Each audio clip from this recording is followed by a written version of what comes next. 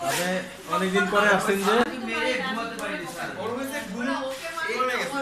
রক্ত বের হচ্ছে কোনটা?